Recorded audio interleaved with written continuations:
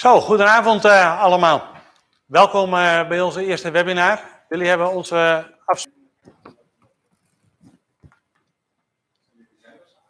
Ja, mijn zender staat aan, heb ik net gecheckt. Oké, we gaan het nog een keer proberen. Nou, even wat, wat, problemen vanuit onze technici. Nou, dat zie je natuurlijk altijd. Goedenavond allemaal. leuk om iedereen op deze manier te treffen. Wil eigenlijk graag beginnen met wat spelregels. Uh, ben, uh, ik begin even met wat spelregels. Uh, ze staan in beeld.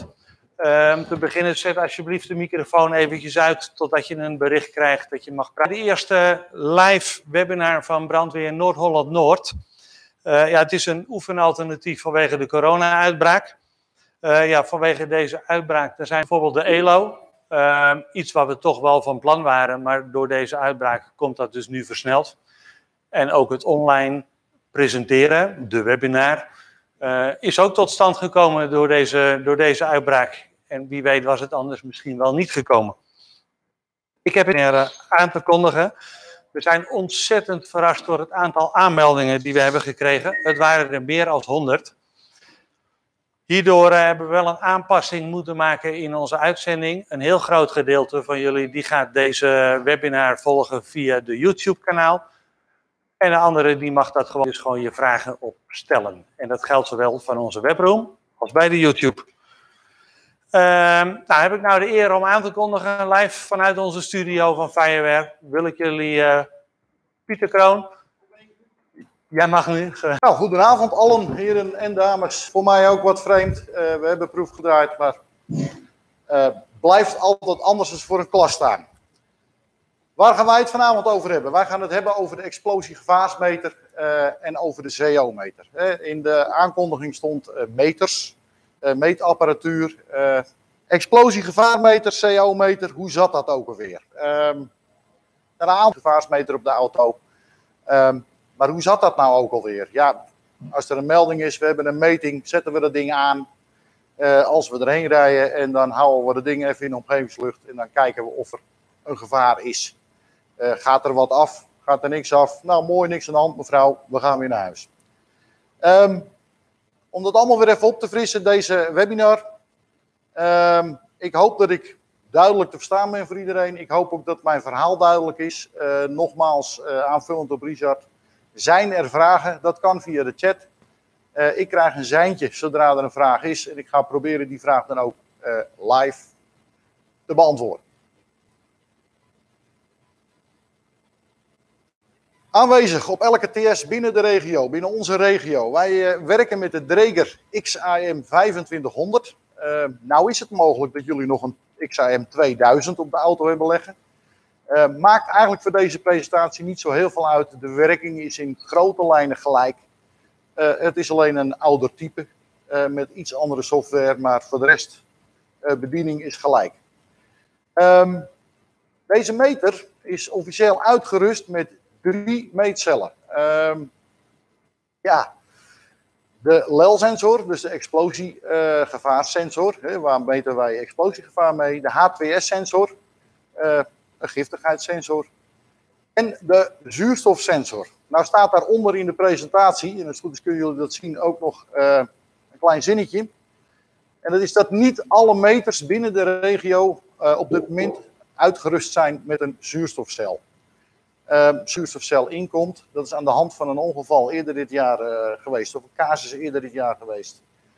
Um, eigenlijk alle Dreger XM XAM 2500 uitgerust gaan worden met een zuurstofcel.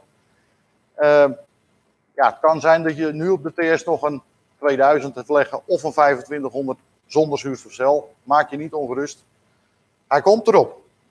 Um, ik ga de presentatie zo behandelen uh, alsof we... Dat kunnen ook nog twee varianten zijn. De Dreker Pak 5500 of de 6500. Uh, ook die worden langzamerhand vervangen. Uh, daar zit eigenlijk niet veel verschil in. Zeker niet in uh, gebruik. Uh, ja, nieuwere software, een iets nieuwere meter. voor de rest weinig verschil. Dus ook die behandelen we vanavond. Goed, wat kunnen we meten? Het al een beetje over gehad, hè? We kunnen brandbare gassen of dampen meten. Dat doen we in procenten in LEL. Um, tafelwaterstof, oftewel H2S, dat meten we in aantal ppm's per miljoen. Zuurstof, dat meten we in volumeprocenten. Dat lijkt me logisch. En dan hebben we nog een apart metertje op de auto waarmee we koolmonoxide meten. Nou, de alarmwaarden zoals ze ingesteld horen te zijn van die meters. Um, eigenlijk twee alarmen, hè? A1 en een A2 alarm. A1 in lel, 10% lel. A2 in lel, 20% lel. De zuurstof, de ondergrens is 19% en de bovengrens is 23%. Hè? Dus uh, daaronder of daarboven uh, krijgen we rood alarm. En de CO is ingesteld op 25 ppm. Hoort ingesteld zijn er 25 ppm voor A1 en 100 ppm voor A2. Uh, daar moet ik een kleine kanttekening bij maken, want ik heb ontdekt dat binnen onze veiligheidsregio en binnen de grote hoeveelheid meters die wij in gebruik hebben op de TS'en, er nog steeds verschillende Deze waarden zijn in het vierde kwartaal vorig jaar eigenlijk vastgesteld en komen nu ook op alle meters in de auto's. De onderdelen van de 2500. Nou, ik heb een heel mooi plaatje. Daarbij staan, ja, wat zijn nou die onderdelen? Ik zal die meter er even bij pakken. Ik heb eigenlijk gehoord dat ik moet hem goed bij mijn gezicht houden en goed aanwijzen. Want we staan voor een camera. Uh, we hebben een sensorkop. Hier zitten de sensoren achter. Ehm, belangrijk als je met die meter aan de gang gaat, dat je niet je hand ervoor houdt of dat je hem in je borstzakje stopt. Uh, ehm, LCD's display, aan- en uitknop en uh, voor de rest een alarmlichtindicator die ook rood gaat knipperen als je een alarm hebt. Ehm, en eigenlijk ga ik daar niet zo heel veel over vertellen, behalve de bovenste twee uh, wil ik behandelen, het kruis en het uitroepteken. Nu op voorhand even de batterijindicatie. Uh, als je helemaal onderin de presentatie kijkt in het display, zie je daar een, een symbooltje voor. Het is dat zodra die batterijindicator één streepje aangeeft, hij in alle waarschijnlijkheid een meting niet goed kan verwerken. Hij zal ongetwijfeld wat in het scherm aangeven als er daadwerkelijk een, een brandbaar gas-luchtmengsel in de omgeving aanwezig is. Uh, alleen die waarde is niet correct. Die zal in alle zekerheid niet correct zijn. En die kan je dan ook niet vertrouwen. Dus zorg er altijd voor dat dat ding goed op de lader legt. Um, we komen het nog wel eens tegen in de auto. we hebben een uitdruk gehad, hobbel de bobbel. Die, die meter hobbelt wat in die lader en zit er niet lekker in. Controleer dat met regelmaat. Hij moet opgeladen zijn, dat is belangrijk. Uh, dan hebben we dat uitroepteken. Um, eigenlijk wel een belangrijke, um, maar ook een hele erg verkeerd begrepen. Uh, er zijn heel veel verhalen in de rond gegaan binnen de regio. Ja, dat klopt, maar het is ook nee.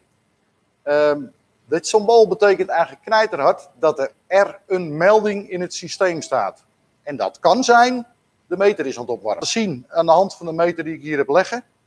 Um, de code voor het opwarmen overigens is 159. Als je dat in het scherm ziet, en dat kan je calibratiedatum uh, uh, voor mijn LEL-sensor is verlopen dan geeft hij ook een code. En die blijft gewoon in de meter staan. Um, de uitroepteken.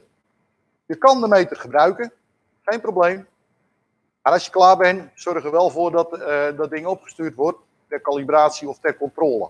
Er staat een melding in, er is iets aan de hand, die melding blijft staan. Uh, zorg ervoor dat het ding nagekeken wordt. Dus maak daar melding van. In ons geval via BSP, hè, en dan komt de desbetreffende persoon uh, ter plaatse om, uh, of ter plaatse bij jullie op de post om die meter na te lopen. Dus niet ter plaatse natuurlijk. Dan hebben we nog een symbool, dat is een kruis. Uh, ja, die is duidelijk voor ons allemaal. Hè. Kruis betekent no-go. Ehm, als die in het display staat, betekent dat van knijterhard dat er iets kapot is in die meter. Er is een storing. Um, de ding heeft direct onderhoud, reparatie nodig. En we hebben daar één hele duidelijke afspraak over binnen de brandweer. Kruis in het scherm betekent de meter wordt niet gebruikt. Ook al heb je via allemaal slimmigheidjes de code achterhaald en er staat dat de H2S-sensor stuk is, dan gaan we ook niet zeggen, nou dan kan ik nog wel een LEL-meting doen. Nee, er staat een kruis, er is iets mis, de meter gaat aan de kant. Ehm, moet ik dan toch een meting doen als ik ter plaatse ben? Ja, dan zullen we eh, iemand anders moeten laten komen met een meter. Uh, voor jullie informatie, de OVD's hebben ook een meter in de auto. Dus als die al rijdend is, uh, neem contact op met die man. Vraag hem of hij zijn meter aanzet.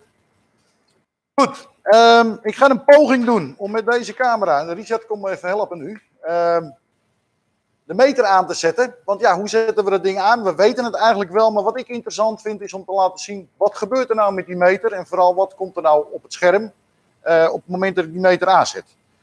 Ja, dan mag jij die camera bedienen, want daar ben je heel goed in. Dat weet ik niet. Je, oh, is een uh, wit schermpje in het. Uh, kan je dat witte schermpje aan de kant schuiven? We even met onze regisseur praten hoor. Dan moet er rechtboven is. En je, je, moet hem even omdraaien, want hij is op zijn kop, hè? Sorry. Goed. Nou, inschakelen is heel simpel, hè? We drukken de groene of gele, ja, wat voor kleur je het ook vindt, knop in. Die houden we ingedrukt. Hij telt af. En de meter zal opstarten. Oh. Gaan we er even door. Uh, wat hij nu aangaf, dat was uh, het versienummer. Al door. In dit geval uh, alleen LEL en H2S. Ook deze meter heeft nog geen zuurstofcel. Terwijl het wel een, uh, een 2500 is, dus hij had hem moeten hebben. En wat je nu ziet, is dat de rode lampjes nog steeds knipperen af en toe. En dat de LEL-sensor knippert. Dit is de inloopfase. Hij is nu aan het opwarmen, hij is aan het opstarten. En op een gegeven moment zal hij op nul blijven staan. Als je naast de nul kijkt, zie je ook een uitroepteken staan. Nou, dat uitroepteken uh, dus uiteindelijk zijn dat hij aan het is. Maar het kan ook zijn uh, dat er nog een andere melding in het systeem staat. Ik weet niet of jullie uh, opgevallen is hoeveel dagen deze meter nog heeft tot kalibratie. Ik uh, weet niet of iemand daar een antwoord op wil geven. Ik zie Rinaldo in het scherm, dus Rinaldo, zet je microfoon aan, heb je het gezien? Rinaldo denkt, waarom ik? Ja, je staat in het scherm. Wat heb ik gezien? Hoeveel dagen tot calibratie deze meter nog heb, heeft. Nee, dat kan je niet zien. Nee, dat kan je nu niet meer zien. Want je moet, de reset moet even omhoog en je bent uit het licht. Kijk. Nou, dat gebeurde met opstarten, hè. Dat ging vrij snel. Dankjewel, Rinaldo. Ging vrij snel. Maar tijdens het opstarten geeft hij aan hoeveel dagen calibratie. En in dit geval was dat nul. Uh, betekent dat dat deze meter niet meer gebruikt kan worden? Nee, deze meter kan gewoon gebruikt worden. Uh, alleen ja, we zullen wel een melding moeten maken, want hij moet gecalibreerd worden. Hij moet nagekeken worden. Um, het uitroepteken staat nog steeds in het scherm. Um, dat duurt ook een minuut of twee, drie, eer dat de meter voldoende opgewarmd is. Betekent dat ook dat ik niet kan meten op het moment dat dat uitroepteken er staat? Nee, je kan wel gewoon meten. Um, alleen de meter, meetcel, de sensor, is nog niet volledig opgewarmd. Niet zo'n groot probleem. We moeten nog ter plaatse, dus we hebben nog wel een minuut of twee. Nou, uitschakelen van de meter. Dat ga ik niet laten zien, want ik laat hem nu nog even aanstaan. Ik heb hem straks nog nodig. Um, allebei de knoppen ingedrukt houden. Dan telt hij af. Hou hem ook ingedrukt. En uh, dan schakelt hij zich uit. Um, wat heel belangrijk is, en zeker met de dregermeter, met deze meter, is dat je hem alleen uitschakelt wanneer alle waardes op nul staat met uitzondering van de zuurstof natuurlijk. Um, ja, die moet keurig op de, op de 21.9, oftewel de 21 staan. Um, dus zorg ervoor dat de meter, op nul staat. Met name die LEL-sensor is heel belangrijk. Hè? Ik zie nog wel gebeuren tijdens uitdrukken, maar ook uh, tijdens oefeningen. Ja, dat ding dat maakt zo'n vreselijke herrie. Ik hou hem al ingedrukt, dan gaat hij uit. Daarmee maak je dat ding kapot. Dus doe dat niet. Moet gewoon keurig naar nul in schone lucht. Daarna schakelen we de meter uit. Goed, ik kom straks nog even terug op de meter zelf. Um, even naar de explosiegrens. Wie zat dat ook alweer? Want we hebben het nu eigenlijk even met name over de LEL-sensor, dus de explosiesensor. Um, we hebben een explosiegrens. Nou is dit ding een vrij domme meter, deze meter. Um, want het enige wat hij kan meten, wat die LEL-sensor kan meten, Tenminste, dat is niet helemaal waar wat ik zeg. Het enige wat die LEL-sensor denkt dat hij meet, is methaan. Dus met alles wat hij binnenkrijgt, denkt hij, oh, methaan. Maar dat denkt hij dus ook bij benzinedampen, dat denkt hij bij propaan, dat denkt hij bij acetyleen. Hij rekent alles aan de hand van methaan. Deze meter is dus gekalibreerd, geëikt op methaan. Um, als we dan naar die explosiegrenzen kijken, dan zie je dat um, bij 4,4% uh, volumeprocent methaan in de omgevingslucht uh, begint het explosief gebied. Dat noemen wij onze onderste explosiegrens. Nou, dat loopt door tot 16%. En daarna heb ik te veel gas in de omgevingslucht, dan kan het simpelweg niet meer branden. Andere woorden, uh, te rijk. Nou, dat vinden we niet interessant, te rijk. Daar doen we niks mee. Wij vinden het interessant dat we onder die onderste explosiegrens blijven. Dus we hebben dat groene stukje van 0 tot 4,4 procent. Hebben we eigenlijk even uitvergroot. En daar hebben we 0 tot 100 procent van gemaakt. Waarbij 0 procent LEL um, eigenlijk 0 procent CH is, CH4 is. Maar 100 procent LEL is 4,4 procent CH. Dus als ik op 100% lel zit, heb ik 4,4% methaan in de omgevingslucht. Althans, dat denkt deze meter. Dus uiteindelijk geeft hij een alarm op 10% van de onderste explosiegrens. Dat noemen we ons A1-alarm, ons eerste alarm. Ja, dat is heel weinig, dat is maar 0,44% methaan. Um, dan zegt hij boven de 20% nog een keer, ja wacht even, ik heb net een alarm gegeven, jij blijft maar doorlopen. Ik ga nog even harder gillen. Je krijgt ook een ander alarm, hè, dus, en hij is ook niet meer uit te drukken. Uh, maar dan nog zit ik maar op 0,88% methaan in de omgevingslucht. Ik kan dus eigenlijk nog steeds geen explosie krijgen, want ik heb 100% nodig. Um, iemand enig idee waarom deze meter um, een alarm geeft op 10% van de onderste explosiegrens. En niet bijvoorbeeld op 80%, joh. Dan heb ik nog 20% over. Mag via de chat, je mag je microfoon even aanzetten. Dat is spannend. Iemand enig idee waarom? Ik denk omdat er nog andere uh, mensen zijn die uh, eerder uh, ja, nog bredere explosiegrens hebben. Ik hoor Jan-Dirk Dovers, een stem uit duizenden. Jan-Dirk, ehm, ja, onder andere. Um, deze meter denkt bij alles wat hij in zijn meetcel krijgt, alle brandbare gassen, dat het methaan is. Nou zijn er heel veel stofjes met een lagere explosiegrens. Bijvoorbeeld propaan. Propaan heeft een onderste explosiegrens van 1,7%. Om er nou voor te zorgen dat we met alle stoffen, eigenlijk alle, ja, alle stoffen die wij tegen kunnen komen, alle gassen, dampen, dat wij onder die 100% blijven, hebben we gezegd, op 10% krijgen een alarm. Grote waarschuwing, jongens, denk erom. Ik ben nog niet explosief, maar met 10% uh, eh, geef ik een alarm. Uh, hou er rekening mee, ik heb een bron. Ergens komt gas vandaan, of damp. Um, bij 20% doen we dat nog een keer. Uh, maar dan stopt het voor ons al een beetje. Als wij niet weten om wat voor stof het gaat, dan gaan we niet verder. En eigenlijk, als je twijfelt over het type gas of damp, of over de soort gas of damp waar je mee te maken hebt, zorg er dan voor dat je niet over die 10% gaat, dan blijf je altijd onder die onderste explosiegrens. Um, nou kan je uh, de explosiegrens uh, vermenigvuldigen met een uh, correctiefactor van de desbetreffende stof, waarmee je dus uiteindelijk uitkomt van, nou joh, ik weet dat dit om propaan gaat, ik doe het maal zoveel, hij geeft 4% aan, maar in werkelijkheid is het 12. Dat kan. Ik ben daar geen voorstander van. Uh, omrekenen is leuk, is aardig. Weet je het niet, blijf je onder die 10. Wil je meer weten, wil je weten hoe ver je kan gaan met een bepaalde stof, gas of damp. Als je, zeker als je niet weet wat het is, neem dan contact op met die AGS. Uh, dus 10% onderste explosiegrens om ervoor te zorgen dat we eigenlijk altijd onder die 100% blijven met alle verschillende gassen.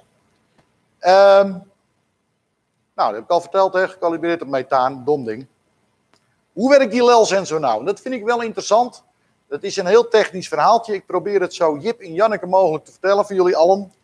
Um, maar eigenlijk is het een heel interessant ding. Wat, wat, wat je wel moet weten zijn een aantal dingen. Uh, er zit een sensortje in, dat is gewoon een heel klein rond dingetje. Um, daarin zitten allemaal elementjes Um, en uiteindelijk komt daar een gas of damp in? Oh, Bart Lagerman. Ik wil hem, ik wil hem beantwoorden, Bart. Ehm, waarom is hij niet gecalibreerd op, het meest, op de meest explosieve ga- gas, eh, begrijp ik?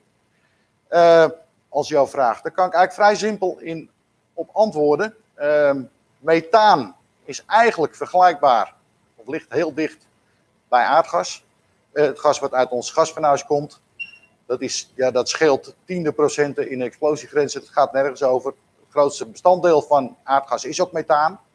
Ehm, waarom hebben we hem op methaan gecalibreerd? Omdat simpelweg wereldwijd, eh, nou en eigenlijk zeker in Nederland, ehm, dat gas het meeste voorkomt.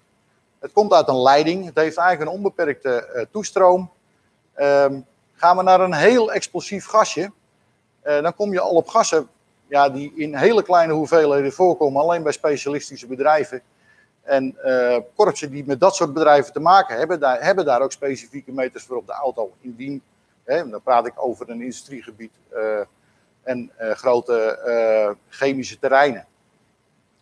Dus omdat wij eigenlijk gewoon altijd te maken hebben met methaan, altijd is het natuurlijk een groot woord, maar grotendeels te maken hebben met methaan, is hij daarop gecalibreerd. Gaan we een heel brandbaar stofje gebruiken als calibratiegas, ja, dan wordt het heel ingewikkeld, want dan gaat hij op 10% af. Eh, en je loopt bij een methaan, bij een gaslekkage, en dan ben jij aan het stoppen met, met ondernemen, terwijl er nog niks aan de hand is. Is eigenlijk de reden, de hoeveelheid eh, van het gas eh, en hoe vaak het voorkomt, is het methaan. Ik hoop dat ik Bart's vraag beantwoord heb. Toch? Had je er meer chats? eh? Oeh, oh, zeker, zegt hij. Dankjewel, Bart. Ehm die LEL-sensor, even terug naar die sensor. Ehm, dat gas komt in dat sensortje. Dat zit hier in die meetkop. Ehm, het is dit celletje in dit geval. Eh, daar komt gas of damp in. En dan praten we over een brandbaar gas of damp. Hè? Want als het niet brandbaar is, dan doet die meter ook niks. Ehm, in die sensor verbrandt het katalyt- katalytisch op een voorverwarmd element. En het stukje verbranden en katalytisch, die moet je even onthouden. Dus eigenlijk werkt die meter ehm, middels verbranding. Dat element ehm, is volverwarmd. En dat is 500 graden. Graad op, graad af. Ehm, en die hitte, die ontstaat bij verbranding op dat element. Dus de verbranding van de gas of damp die jij wil meten. die verhit een detectie-element. En uiteindelijk krijg je een verschil in weerstand tussen die verschillende elementjes. En dat zetten ze dus keurig om in het percentage lel. Nou, allemaal leuk, heel technisch. Er zit er nog een elementje in die compenseert voor weersinvloeden, en voor de luchtdruk en voor, de, voor vochtigheid, luchtvochtigheid. Allemaal niet interessant. Eh, ja, voor als je er heel diep op in wil gaan. Maar voor jullie belangrijk om te weten: mijn gas of damp verbrandt katalytisch op een verwarmd element. Ehm, onthoud die even. En als het goed is heb ik nou een stelling. Ik weet niet of die er al in staat. Oh, zoals, eh, jullie krijgen straks een, een stelling in het scherm. En dat is een soort poll. Maar de technische regisseur is even koffie halen. Of plassen. Wat is hij aan het doen? Chef. Maar jullie kunnen vast nadenken over deze stelling. Ehm, de LEL-sensor testen vooraf of met je wekelijkse pakjescontrole met een beetje gas uit een aansteker. Eh, want dan weet je tenminste zeker dat de meter het doet. Eh, als het goed is, krijgen jullie nou een poll te zien. Doet hij niet? We doen hem in de chat. Is er iemand die zegt eens? Want ik zie al een aantal oneensen verschijnen in de chat. Is iemand er het ermee eens? Dat zou ik wel fijn vinden. Allemaal oneens. Alles oneens? Als Danny het zegt, hoor ik. Vincent de Brave zegt, sensor wordt overbelast. Hele goeie. Slaan we even op. Dank je, Jan. Goed. Die Danny die, eh, die wordt steeds slimmer met de dag. Ehm, Oké, eens, alleen wordt die gekeurd. Moet die gekeurd worden, hoor ik hier. Onwel, oneens, wel met bumgas. Ja, maar ik had het over aanstekergas, hè. Ehm, het is een actie die gek genoeg nog best wel vaak voorkomt binnen Brandweer Nederland. Ehm, ik heb zelfs lesbrieven gezien, uit een andere regio overigens, jongens. Van nou, een jaar of vijf, zes oud, waar dat gewoon nog keurig stond. Op de maandelijkse pakkingscontrole controleren wij de explosiegevaarsmeter met een beetje aanstekergas. Ehm, mijn antwoord is heel simpel. Doe dit nooit. Niet testen met aanstekergas. En ik ga proberen dat uit te leggen. Ik ga proberen het weer niet zo ingewikkeld te maken. Ehm, maar ik moet wel even een paar technische dingetjes in het scherm zetten. Um, methaan heeft een ontbrandingstemperatuur van boven de 500 graden Celsius. En dat is eigenlijk de reden waarom dat element is voorzien van een dun laagje edelmetaal. Dat is een palladium. En dat zit om dat kleine brandelementje heen. Um, en dat heeft methaan nodig om te kunnen verbranden. Want ja, dat elementje wordt verhit tot 500 graden, maar de ontbrandingstemperatuur van methaan is hoger. Dus dat brandt niet uh, op dat element. Dat heeft dat katalysatortje nodig. Hè? Dat is dus een stof die je toevoegt um, aan je verbrandingsproces. En die versnelt je verbrandingsproces in dit geval. Um, om te zorgen dat je een verbranding hebt. Want ik wil, een, ik wil een meting, dus ik zal een verbranding moeten hebben in het celletje. Nou, dan gaan we even terug naar propaan. Propaan heeft een ontbrandingstemperatuur van onder de 500 graden. En dat geldt ook voor butaan. Ik heb hem er even bij gezet.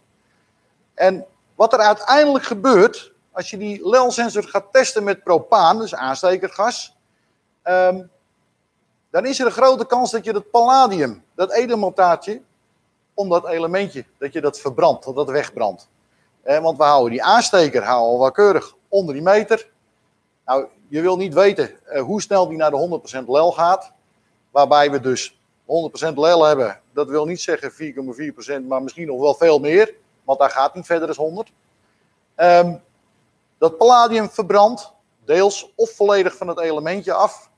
En het gekke is dat hij dan daarna naar nul gaat. Hè, want we wapperen even de meter leeg. We wachten tot hij op nul staat. We zetten hem uit. Een week later gaan we kijken of die meter goed is. Als je hem opstart, Geef die meter aan, joh, ik, ik vind het prima. Ik doe het helemaal. Misschien zegt hij nog wel, ik heb nog uh, eh, 200 dagen tot calibratie. Eigenlijk geen reden om te zeggen, ik kan die meter niet gebruiken. Pak ik op dat moment weer een aansteker. En ik ga weer gas in die meter worden. Gaat die meter gewoon af. Maar hou ik hem op dat moment bij aardgas, methaan, dan doet hij niets. Want ik heb geen katalysator om een methaan te verbranden. Dus ja, de meter verzadigt, zoals we dat zo mooi noemen.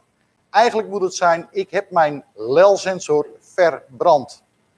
Uh, dat geldt dus voor methaan, dat hij niks meer aangeeft of een verkeerde waarde. Maar uiteindelijk ook voor alle andere dampen, gassen uh, die een ontbrandingstemperatuur hebben van boven de 500 graden. Uh, terwijl wij met ons aanstekertje gewoon elke maand maar even kijken of hij doet. Ja, hij blijft gewoon afgaan met mijn aanstekergas. Dus nooit het aanstekergas testen. Heb je zo'n grapjurk die dit ooit een keer gedaan hebt? Uh, ja, melding maken. Dat ding moet gekalibreerd worden. Ieder geval gecontroleerd. Uh, want ik wil weten of die meter aangeeft wat hij aan moet geven. Goed. Ik heb nog een stelling. Nou, de poll die uh, slaan we over. We doen het weer via de chat. Um, we hebben een binnenbrand. Um, ik neem altijd de explosiegevaarsmeter mee bij binnenbrand. Want uiteindelijk is dat beter meeverlegen dan omverlegen. En die post weet het weer. Dat is zo'n wijsneus, joh. Oneens, oneens. Waarom is niemand het nou eens een keer eens? Ah. Allemaal oneens, jongens. Helemaal top. Een goeie. Alles oneens? Ja, top. Iemand uh, in voor een toelichting op eens of op oneens? Waarom zijn we het mee oneens? Dat mag ook even via de microfoon. Danny, kom op. Ja, alsjeblieft. Jan Idema. Gaat het over, joh? Ja? Doe maar Jan. Uitleg.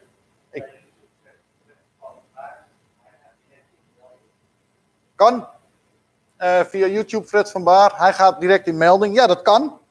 Dat is een optie. Ik ga naar binnen, ik heb mijn meter mee. Ehm, ja, binnenbrand, hoop rook. Waarschijnlijk, als het een goede binnenbrand is. Rook is een verzamelnaam voor onverbrande gassen. Dat zijn dus ook brandbare gassen.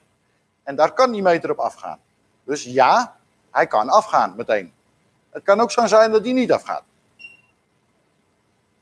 Ja. Ehm, als hij afgaat, ja, leuk, mijn meter gaat af. Ik heb dat ding mee. Hij gaat af, dus ik moet er wat mee doen. Toch? Dat hebben we afgesproken. Als de meter afgaat, gaan we de bevelvoerder informeren. Uh, joh, mijn meter gaat af. Nou, wat geeft hij aan dan? Ja, 70% lel. Nou, maak er dat je wegkomt. Als je binnenbrandt, jongens, dat is altijd rook. Kan ook zo zijn dat hij uh, niet afgaat. Dat hij keurig lekker op nul staat. En we weten straks zeker met de meters, als die vervangen zijn en een zuurstofcel hebben, dat die afgaat. Want we hebben in alle waarschijnlijkheid toch echt wel een verlaagd zuurstofpercentage. Um, of hij gaat niet af en mijn lel blijft op nul. Nou, dan denken we, nou joh, we hebben rook, maar het is niet brandbaar hoor. We hebben geen kans op een fles over of backdraft, want ik meet geen lel. Eén ehm, ding weet je heel erg zeker, neem ik hem mee bij een binnenbrand, is hij kapot. Je lelsensor doet het niet meer. Die is niet meer betrouwbaar. Je kan hem eh, opsturen, of tenminste, je kan eh, de TD laten komen om je meter opnieuw te laten kalibreren. En in alle waarschijnlijkheid uh, zal die ook de meetsensor moeten vervangen. Ook nog grote kans dat de zuurstofsensor helemaal verzaagd is. Ehm, we hebben er niks aan. Meter niet mee bij binnenbrand. Nou, gaat goed. Hebben we nog chats? Nee? Gaan we door. Um, aanvulling op wat ik net uitgelegd heb. Die meter heeft ook altijd, die LEL-sensor vooral, heeft altijd minimaal 10% zuurstof nodig om aanwezigheid van een gasvertank te kunnen meten. Ik heb het over aanwezigheid. De waarde die die dan geeft, is niet betrouwbaar. Daar heb ik minimaal 17% voor nodig. Dus ja, bij een binnenbrand. Geen zin. Niet doen. Um, dat even over die LEL-sensor. Waar houden we nou rekening mee? In het kort, uh, die sensor is gevoelig voor stoffen die chloor, zwavel, silicium, halogenen bevatten, verdampen uit monomeren, polymeren. Dat is een heel mooi woord voor kunststoffen. Um, deze stoffen in aanwezigheid, uh, in dampvorm, bij de aanwezigheid van een brandbaar gas of damp, die kunnen die katalytische verbranding beïnvloeden. Dat betekent dus eigenlijk dat hij of versnelt, er is eigenlijk niks aan de hand, maar dan geeft 80% lel aan, of er is heel veel aan de hand en dan blijft op nul staan. Um, hou daar rekening mee. Weet je bijna zeker dat er iets aan de hand is en dat je iets zou moeten meten. En je meet niets, um, vraag je dan af, joh, is er iets in de omgeving eh, om mij heen die mijn meting beïnvloedt? Um, kom je daar nog? Jongens, hij staat al onderaan de dia. Neem bij twijfel contact op met die AGS. Die kan je daar meer, op, uh, meer over vertellen. Daarnaast een hele belangrijke, die we eigenlijk met z'n allen vergeten. Uh, die dankzij uh, opleiden en oefenen van ongeveer 20 jaar geleden uh, nog steeds er zo ingeramd is dat we er nog steeds last van hebben. Die sensor is voorzien van een vlamkerend rooster. Ehm, en een filter om beïnvloeding van andere gassen tegen te gaan. En dat is wel mooi, maar dat verlaagt de detectiesnelheid. En met andere woorden, ik heb een explosief gas-luchtmengsel, ik hou die meter erin. Ja, hij gaat echt niet meteen af, dat duurt even. Um, daarom zegt Breker bij deze meter, minimaal drie minuten meten. Wat hebben wij geleerd? We gaan uh, midden, hoog, laag, midden, hoog, gaan we lekker zo de ruimte door. Ik sta alleen maar te wapperen met dat ding. Ik hou hem niet drie minuten op één plek. Nou moeten we ook niet gaan denken dat we nou echt drie minuten zo moeten gaan staan. Drie minuten zo en drie minuten zo. Um, want dan duurt het wel heel lang als ik een incident ga benaderen en ik moet nog een meter of 25 lopen. Um, maar ik moet er rekening mee houden dat ik niet ga lopen wapperen met dat ding.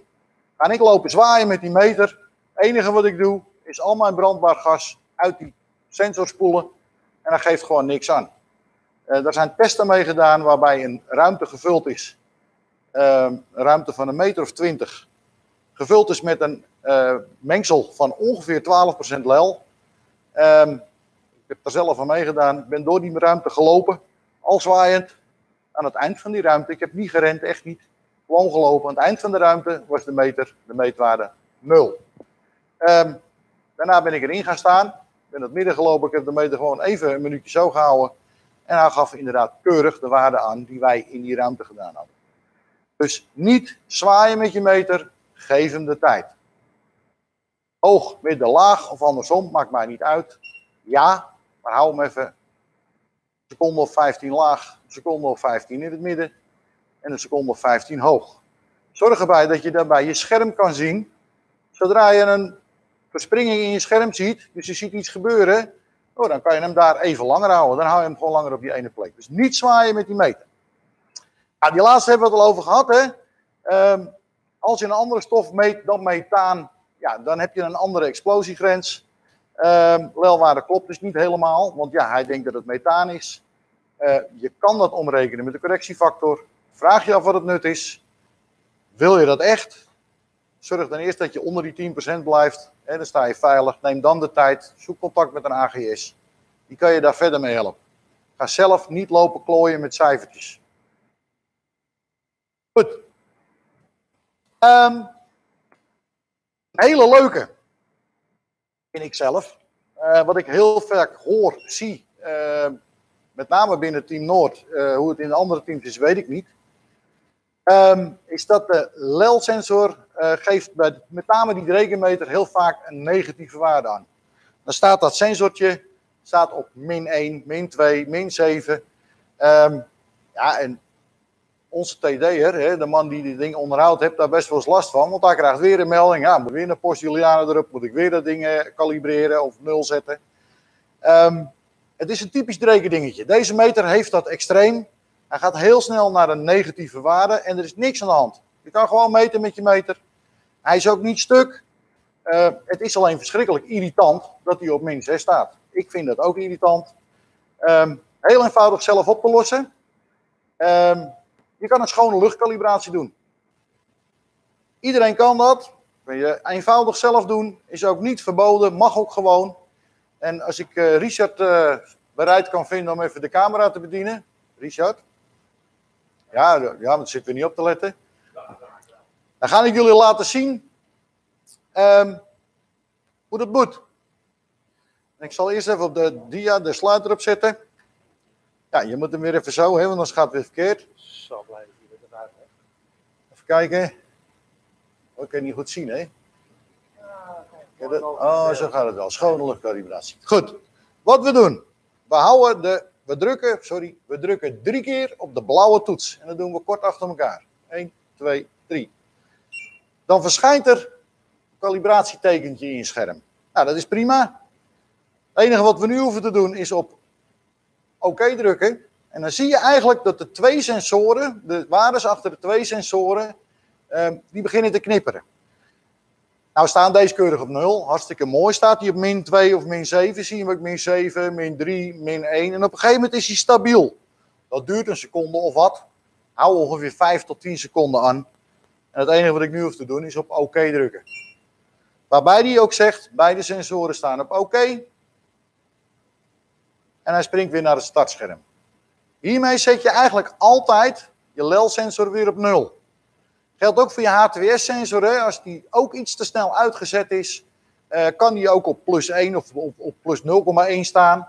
Ja, die wil je graag op 0 hebben. Dat kan je met een, uh, met een uh, schone luchtkalibratie doen. Um, let wel op, en ik heb er in het rood in de presentatie gezet. Um, je zet alleen de waardes op 0. Je kalibreert de meter niet. Grootste fabel binnen de brandweer is, als ik de meter opstart, kalibreert hij. Als ik een schone luchtkalibratie doe, kalibreer Nee, dat is een dom ding. Hij zet alleen de cijfertjes op nul. Meer doet hij niet. Um, nogmaals, dankjewel Richard. Nou, je moet zo wel opletten, want je moet straks weer terugkomen. Stille aan. Iemand in de chat zei, ken je die twee burgers van de Bucket Show?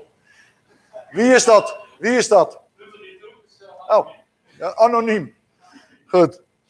Ehm, de schone luchtkalibratie. eh, ik vind het zelf heel erg irritant als een cijfertje niet op nul staat, terwijl die op nul hoort te staan. Dus ik doe het bijna wekelijks bij ons. Ehm, probeer het gewoon een keer uit. Drie keer op de blauwe. Kijk wat er gebeurt.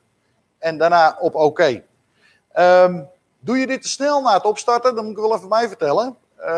Zet je die meter net aan en je wacht tot hij door zijn cyclus is. En je wil meteen een schone luchtkalibratie doen, dat lukt niet. Want dan is dus die sensor nog aan het opwarmen. Dat geeft hij dan ook aan. Dan zal hij zeggen, nee, 159 en eronder wacht twee minuten. Nou, prima. Goed. Ehm, ik heb nog weer een stelling. Ik heb hem er maar even ingegooid. Ik ruik duidelijk aardgas. Ik ben te plaatsen. Ik ruik, man, het stinkt hier toch naar gas. Eh, maar die meter geeft niks aan. Ik stuur hem wel op of ik bel wel weer, want waarschijnlijk is dat ding weer stuk. Zijn we het daarmee eens of niet?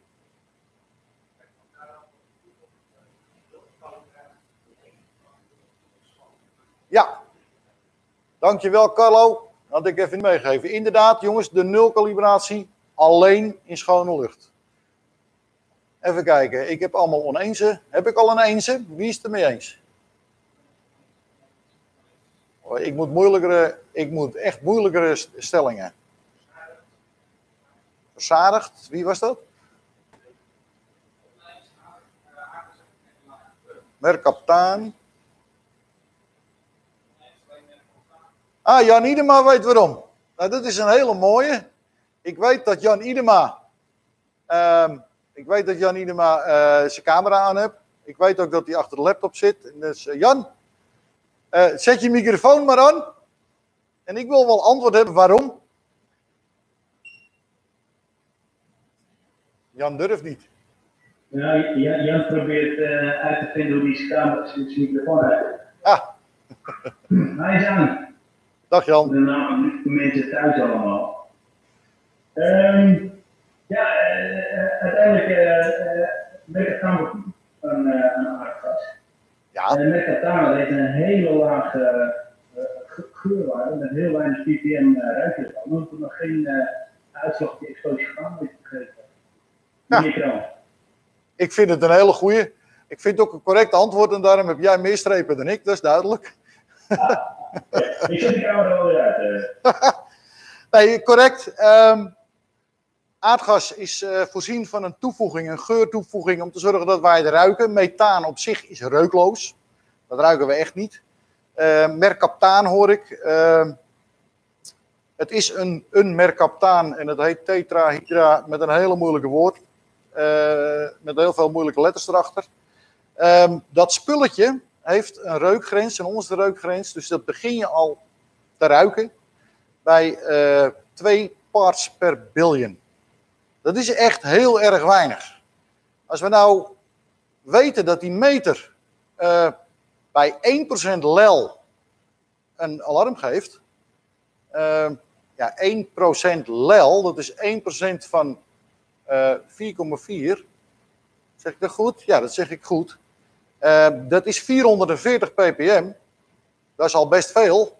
En ik ruik dat mercaptaan ruik ik pas bij twee parts, ruik ik al bij twee parts per billion. Dus ik ruik het al heel erg lang voordat die meter überhaupt een meting geeft. Ehm, ja, komen we een beetje op padstelling. Hè? Je komt te plaatsen, je, meet, je ruikt gas. Die mevrouw heeft echt gelijk. Ik ruik gas, ik heb een gaslekkage. Maar je meet niks.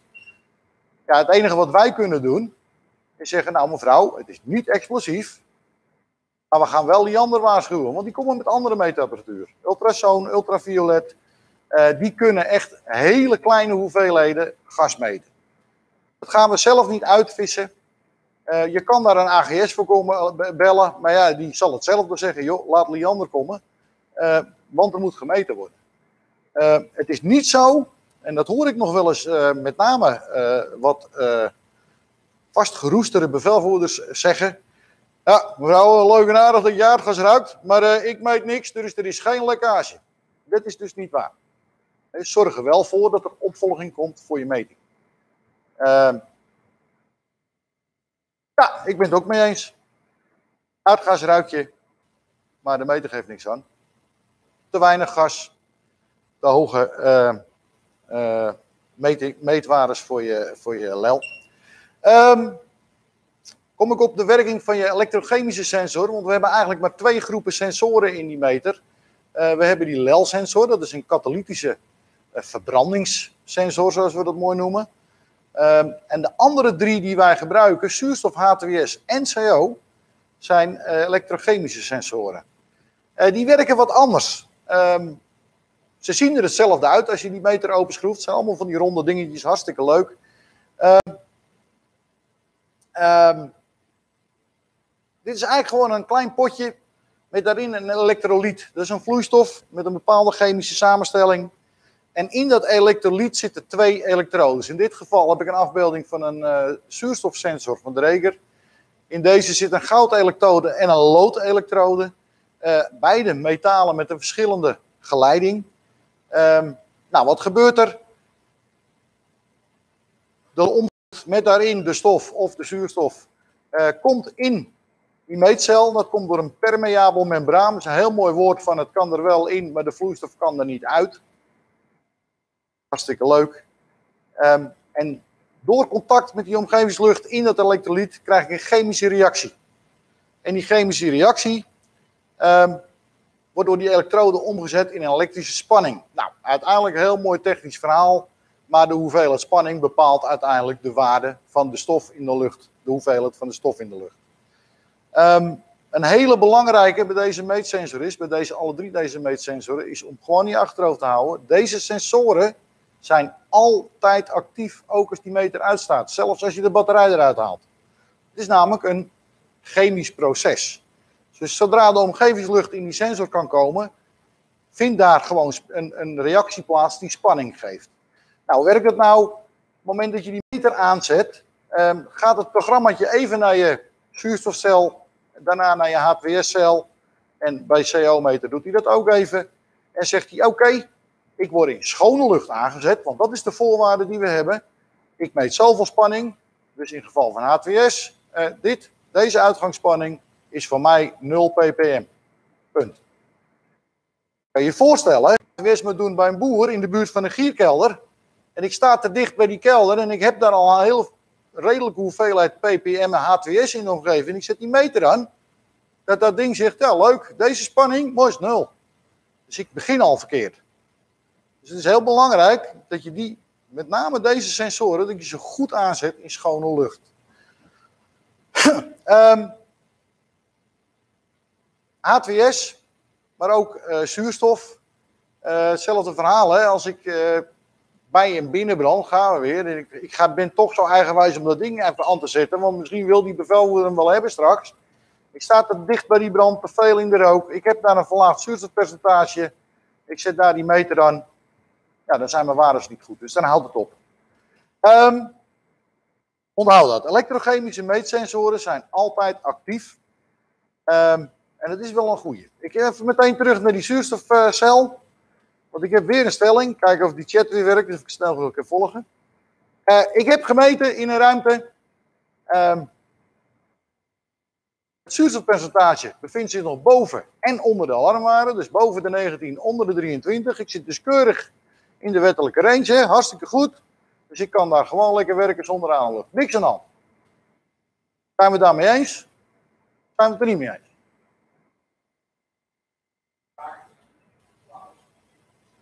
Ja? Oké. Kijk, Bas is het er niet mee eens.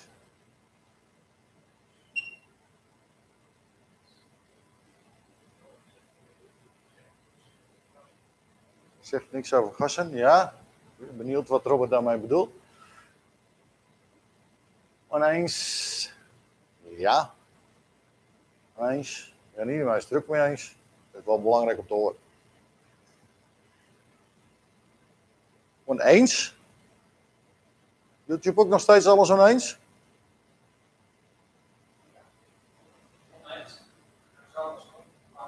Ja. Zie hem, Vincent, de brave. Je eens, Vincent? Houd die vast. Goed. Um, ja, ik ben het er ook mee oneens. Um, ik kan het eigenlijk wel vrij simpel uitleggen, dus niet zo heel ingewikkeld. Um, Als mijn zuurstofpercentage hebben wat lager is 20 punten- dan 20,9, eh er kan even nog een ander gas aanwezig zijn. Eh, dat is stikstof, helium, hartstikke leuk, daar krijg je een stemmetje van.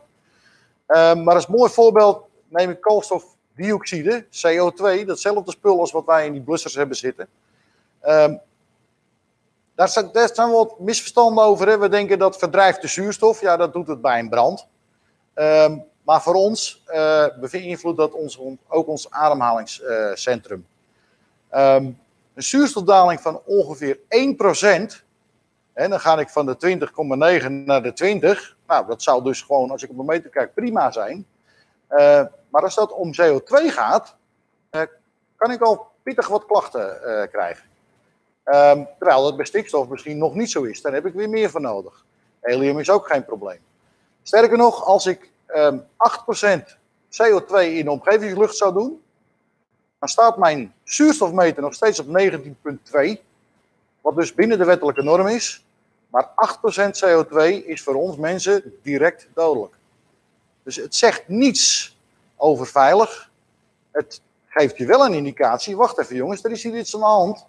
Ehm, ik heb een verlaagd of verhoogd zuurstofpercentage. Verhoogd vind ik altijd een beetje spannend. Ehm, maar verlaagd is logisch. Hè? Ik heb veel meer andere stof in deze omgevingslucht. Ehm, daardoor is mijn zuurstofpercentage lager. Logisch. En dan kan ik op zoek naar wat er aan de hand is. Ik wil weten wat voor stof het is. Ehm, sterker nog, zelfs bij 20% 9 eh, zuurstof in de lucht, 20,9% zuurstof in de lucht, ehm, wil dat nog niet zeggen dat er geen giftige of schadelijke gas of damp eh, bij ons in de omgevingslucht is. Ehm, onze meters geven een waarde aan tussen de 20,6 en 20,1. Die geven ze aan als 20,9. Dus een hele lichte verlaging van mijn zuurstofpercentage zie ik al niet. Dus ik moet op zoek naar zaken eh, eromheen. eh, indicatoren van, joh, zou hier een andere stof aanwezig kunnen zijn? Is hier wat aan aan de hand? Doe Pieter maar iets kleiner. Karin, tekst in beeld, meegekregen? Wordt geregeld, Karin? Goed, aandachtspunten voor gebruikmeters. Oh, verkeerde knop. Sorry. Bijt- en oxiderende stoffen beschadigen het meetelement. We zetten de meter altijd aan in een schone, frisse ruimte in het voertuig. Wat overigens niet altijd een schone frisse ruimte is. Maar dat is weer een ander verhaal. Ehm, aanwezigheid van onder andere siliconen kan een meetfout fout veroorzaken. Ehm, moet ik dat allemaal onthouden welke stoffen dat kunnen veroorzaken? Nee. Maar als je een indicatie hebt van, joh, er is hier wat aan de hand, maar ik meet niks, roep die AGS op. Laat die man komen. Die man kan je daarin helpen, of vrouw. Meetelement, zal je niet verbazen, maar is niet geschikt voor het meten van nevels. Dus eh, is er een hele spray met allemaal eh, vloeistofnevel, niet die meter erin houden, dan gaat hij stuk. Kan hij niet hebben. En houd dat meetinstrument goed om met de sensoren van je af. Hij staat erbij, hij klinkt zo logisch. Maar ik zie zelfs nog met regelmaat brandweermannen dat ding in hun borstzakje stoppen.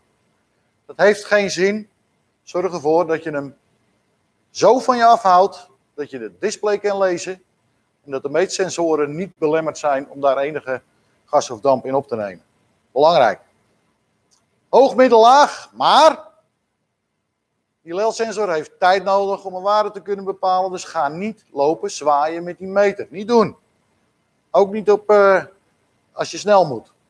En test een explosiegevaarsmeter nooit met aanstekergas. Heb je twijfel over de werking van de meter? Dat is een hele leuke, want wanneer heb je nou twijfel over de meter van, werking van de meter? Meter van de werking. Werking van de meter, sorry. Um, heb je daar twijfel over? Moet je er niet over twijfelen, maar dan moet je dus gewoon uh, simpelweg dat ding de calibratie aanbieden. Laat hem nakijken. Um, wat heel belangrijk is, is dat je met z'n allen goed beseft dat als die meter gebruikt is, bij een uitdruk, we hebben een meting gedaan, joh, we hebben er een kleine gaslekkage gemeten, hij stond op 17% lel, ik heb hem er niet te lang ingehouden, niks aan de hand. Ik heb een, uh, bij een gaslekkage gestaan en ik heb daar uh, een kwartier lang, heb ik daar 80% lel gemeten. dan moet je jezelf afvragen of die meter daarna nog doet wat die moet doen. Dat zijn dus de, de momenten dat je zegt, oké, wacht even. Ik heb nu zoveel of zo lang iets gemeten. Ehm, ik ga een melding maken, want ik wil dat die gekalibreerd wordt. Of in ieder geval dat die nagekeken wordt. En dan bumptesten ze hem. Dan voeren we hem met een, eh, met een gas eh, waarvan wij de samenstelling weten. En dan kunnen we ook weten, bepalen wat hij aan moet geven. En dan kunnen we bepalen of hij goed is. Dus bij twijfel, zorg ervoor ehm, dat je hem laat controleren. Heel simpel. Ehm, voordat ik naar deze meter ga, nog even heel kort terug op de vraag. Ik Richard weer even of hij heel even wil komen met, eh, met het cameraatje. Ehm, ik heb het gehad over het uitroepteken, helemaal in het begin van deze presentatie. Ehm, het uitroepteken uh, betekent hij warmt op. En toen zei ik, ja, dat is wel zo, maar een uitroepteken betekent niet per se dat hij opwarmt. Er is een melding, er staat een melding in het systeem. En zoals je nu kan zien, um, zie je dat dat uitroepteken nog steeds zichtbaar is. Nou, deze meter staat al vanaf het begin van de presentatie, bijna het begin van de presentatie aan. Dus hij zou nu eigenlijk wel weg moeten zijn. Um, wil je weten wat er nou in het scherm staat? En eigenlijk is dit een logisch, dit is een 1 2 uh, we houden gewoon de OK-knop ingedrukt. En dan verschijnt er een code. In dit geval zegt hij, de CA4% LEL-sensor geeft een code 256. Dan nog een keer druk. Dan ziet hij H2S sensor ppm geeft de code 456. Druk ik weer, ga ik weer gewoon terug naar mijn schermpje. En dan is hij weer gebruiksklaar. Um, wat betekenen die codes? Je kan een heel lang verhaal op. Je kunt de, de, de gebruiksaanwijzing downloaden, codes opzoeken. Ik maak even een 1 2 want met opstarten hebben we gezien dat deze nog hoeveel dagen tot calibratie had. Iemand in de chat. Hoeveel dagen had hij nog? Goed zo, Bart Lagerman, Karin, helemaal top. Dus wat zal waarschijnlijk die twee meldingen betekenen? De sensoren moeten gecalibreerd worden. Dit is gewoon een melding, jongens. Calibratietijdperiode verlopen. Deze meter moet gewoon gecalibreerd worden. Uh, maar om even aan te tonen dat het uitroepteken niet per se weg hoeft te gaan na het opstarten van die meter. Deze meter is goed, uh, markeert niet zoveel aan. Sterker nog, er is nog nooit wat mee gemeten. Het is een nieuwe. Maar de calibratie is verlopen. Dus hij geeft een code. Uitroepteken blijft staan. Goed, wou ik jullie niet onthouden. De Drekerpak. Uh, ik ga er niet heel ver op in. Ehm, het is een mooi klein apparaatje. Ehm, ik heb hier de nieuwe. Op het plaatje zien jullie de oude. Uh, je, ziet ook niet, je ziet ook duidelijk dat er niet heel veel verschil zit. Dezelfde twee knoppen, displaytje, sensorkop en een alarmindicatielamp. Ook als ik deze meter aanzet, ik doe het even zo. Oh, ik kan het slecht laten zien, oh, dat maakt niet uit. Geeft hij softwareversie, hij geeft het aantal dagen de calibratie, hij geeft de onderste alarmgrens en de bovenste alarmgrens. Dus de A1 en de A2 uh, alarmwaardes.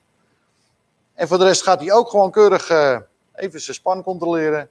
Deze heeft een uitroepteken staan en die staat bij deze meter in een driehoekje. Ik ga even kijken of ik dat kan laten zien. Oh, nou moet ik het zelf doen. Wel spannend. Oh, worden jullie heel gek van me? Kijk. Zien jullie dat? Een klein uitroeptekentje. Uh, en hij staat in een driehoekje. Ik zal hem er nog even bij houden, sorry. Was even snel. Als jullie nou links of rechtsboven kijken, dan zie je ook het batterijindicatortje. En dan weet je eigenlijk meteen wat er aan de hand is. Uh, er zijn twee problemen met deze meter. De batterij is leeg. Uh, dat geeft aan dat hij eigenlijk te korte spanning hebt om te zorgen dat het programma een goede meting kan, uh, uit die sensor kan halen. En ook deze is uit zijn calibratieperiode vandaan. Dus die moet nagekeken worden. Um, wat grappig is in deze meter is dat eigenlijk de werking Um, de bediening, moet ik laat ik het zo zeggen, hetzelfde is als deze meter. Ik heb een groene knop met OK, ik heb een blauwe knop met een pijltje. Um, ik zet hem aan door de groene knop ingedrukt te houden. Hij telt gewoon keurig af tot hij opstart. Ik laat hem zijn programmaatje doorlopen. Als ik hem uit wil hebben, druk ik ook gewoon de knoppen weer in, dan telt hij af. Um, en dan, scha dan schakelt hij uit. Zorg er ook voor dat hij dan op nul staat, deze meter. Want ik zet hem uit Eh, hij denkt van nou, lekker, ik ga uit. eh, maar ik, ik stond nog op 30%, eh, of 30 ppm CO. Ja, dat vindt hij bij de volgende keer opstarten niet fijn. En waarschijnlijk geeft hij dan ook een verkeerde waarde aan. Of hij start met de verkeerde waarde. Dus altijd naar nul. Niet uitzetten als hij nog niet op nul is. Nou, aanzetten. Heb ik net uitgelegd. De groene knop ingedrukt houden, drie seconden, hij telt weer af. Hetzelfde als die andere meter. Altijd aanzetten in schone, frisse lucht. Eh, en ook hier, als je de meter aanzet, test hij het optische en akoestische signaal. Dus hij gaat het geluidje even testen. Hij test of de lampen knipperen. En die blijven ook knipperen zolang hij aan het opstarten is. Hè, dat zijn meter aan het, eh, aan het opwarmen is, cel aan het opwarmen is. Ehm, en uiteindelijk zie je in het scherm vanzelf of hij gebruiksklaar is. Nou, display symbolen, eigenlijk weer hetzelfde verhaal. Er staan er een heleboel onderin. Die zijn niet van toepassing. Ehm TWA-waarden gebruiken we niet. Stelwaarden gebruiken we eigenlijk niet. Ehm calibratie. Deze, deze heeft ook gewoon een schone luchtcalibratie. Ik kan hem nu niet doen, want er staat een uitroepteken in. Dat werkt niet. Ehm, kruis, hetzelfde als bij de explosiegevaarsmeter. Er is iets kapot. Hij is niet goed. Niet gebruiken. Ook niet proberen. Uitroepteken. Er is een waarschuwing. Er is iets aan de hand. Ik heb een melding in mijn systeem. Dat kan zijn, ik ben bezig met opstarten. kan ook zijn dat er een andere melding staat, zoals in dit geval, eh, dat de calibratiedatum verlopen is. Nou, uitschakelen. Hartstikke mooi. De groene en de blauwe knop tegelijk ingedrukt houden. Daar hebben we het net over gehad, hè. En ook bij deze meter storingen, onderhoud, eh, zaken waarvan je denkt, eh, ik vertrouw het niet. Zorg dat het ding nagekeken hebt. Deze heeft een uitroep in een vierkant. Sorry? Ja, klopt. Karin scherp. Ehm ga ik even terug naar de display. Deze heeft een uitroepteken in een vierkant. Ehm, die meter waar deze over gaat, is de oude, de 5500. En ik heb de, in mijn handen de nieuwe meter, de 6500. Kleine wijziging, maar het blijft een uitroepteken. Eh, daar ja, laat het daar maar bij. Dus dat is het verschil, eh, Karin. Waar was ik? Eh, Oké, dankjewel Karin. Lastig, maar zo, eh, maar goed, komt goed. Ehm, eigenlijk hetzelfde verhaal als de explosiegevaarmeter. Gevaarsmeter. Het wordt een beetje saai. maar schone lucht aanzetten.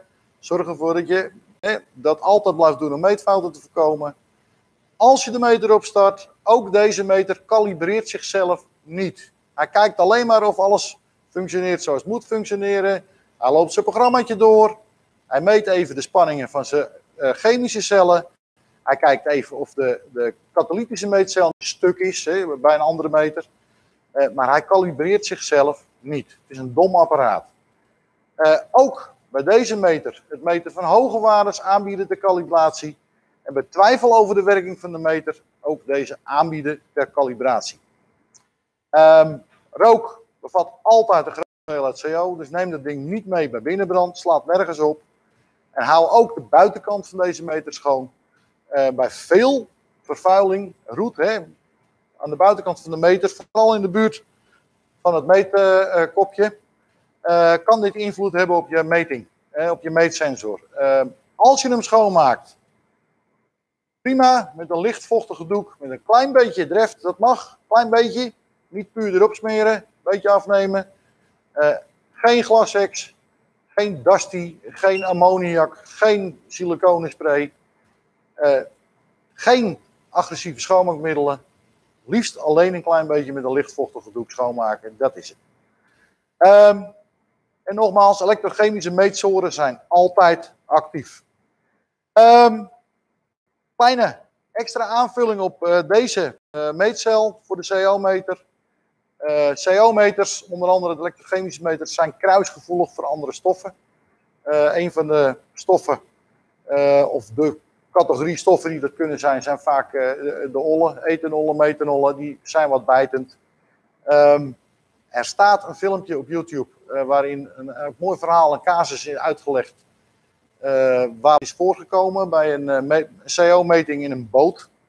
Michel Boon heeft dat uitgevoerd, geloof ik. Zeg ik goed? Ja. Zoek die een keer op. Um, heel interessant om te weten. Um, ik kan nog uren doorgaan over dit onderwerp Oh.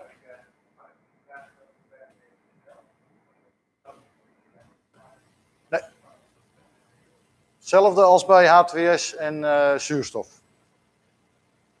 Dus het is een chemische meetcel. Chemische, ja, chemische meetcel. Geen verbranding.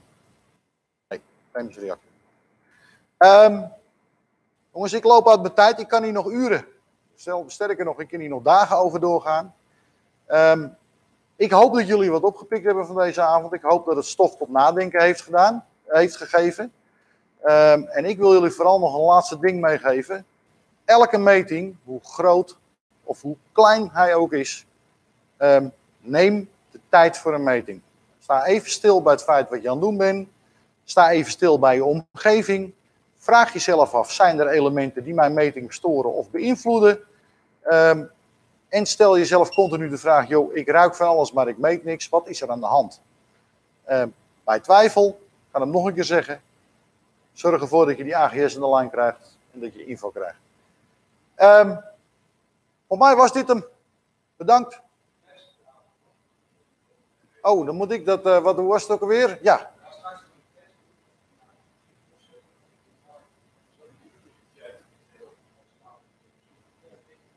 Ja? Oké. Ik ga hem uh, even meedelen voor, de, voor hen die er nog zijn. Voor de, die er zijn, er allemaal nog het goed is. Uh, jullie krijgen straks zowel voor de YouTubers ha, als de mensen op uh, deze Zoom-server was het geloof ik. Krijgen jullie een link in beeld van een ander webserver, zeg ik dat goed, Sef, jij? En vanuit ons de vraag of jullie die straks even aan willen klikken om te kijken of die server meer mensen kan, kan hebben en of die beter draait. Dus het is eigenlijk gewoon een test. Dus wij verzoeken jullie graag om, zodra die link in beeld verschijnt, deze even aan te klikken. En te kijken hoe de test werkt. Ik dank jullie allen. Ik geef het woord nog even aan Richard. Want ja, het is tenslotte de hoogste hier. Ja, dankjewel, dankjewel Pieter. Je hebt het fantastisch gedaan. Ja, zwaar weer.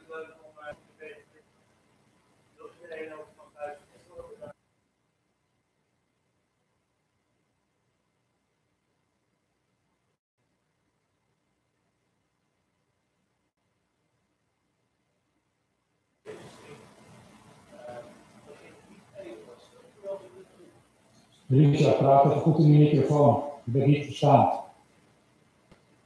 Het is altijd weer de Richard, hè? Moet je mijn microfoon hebben? Werking even geeft, uh, Jan Dirk. Ik hoop dat het nu beter is. Uh, nogmaals, ik wil jullie enorm bedanken voor deze uh, deelname aan deze webinar. We hebben op het toppunt hebben we meer dan 100 streamers gekregen, zowel via de YouTube als via de, de, de, de webroom, zeg maar, waar we nu in zitten. Uh, ik ben wel ontzettend benieuwd naar wat reacties. Zijn er misschien mensen die alvast een eerste reactie willen geven?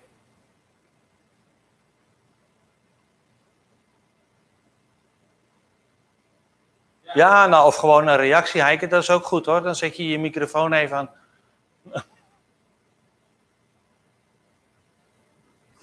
Nou mooi, doen we dat niet. Dat komt wel. Hebben jullie in ieder geval nog tips of suggesties? Jullie hebben onze mailadressen. Dus stuur dan een mail met, uh, met tips of suggesties. Uh, dat geldt ook voor de YouTubers uh, die er nog zitten. We hopen de volgende keer vanaf het begin aan een goede stream te hebben. Het waren wat opstartproblemen. We hebben deze, dit succes hadden we ook van tevoren niet zien aankomen. Ehm, de volgende keer gaan we weer een webinar houden. We willen de komende maandagen daarvoor reserveren. Welke onderwerpen en welke sprekers, dat houden we nog eventjes geheim. Dat lezen jullie vanuit onze nieuwsbrief. In ieder geval wil ik jullie hartstikke bedanken en eh, tot de volgende keer.